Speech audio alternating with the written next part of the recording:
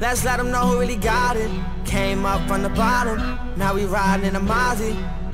And these Margielas done burnt a hole in my pocket. See me, I'm shining. What is up guys, it's your boy Bugz and today I'll be showing you how to get the Gorilla Elephant Cosmetics and let's get straight into it. And it comes with three items as always like all the other codes were. First you get a player icon, um, a G symbol representing the Gorilla Elephant.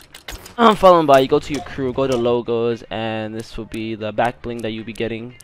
And then finally the banner, as you can see it is the Gorilla Elephant and all its glory. But yeah, let's for the people that don't know how to redeem codes, all you gotta do is go to more, click on redeem, and then use this code right here. I'm pretty sure there's also a code right in the dead center on the top for y'all.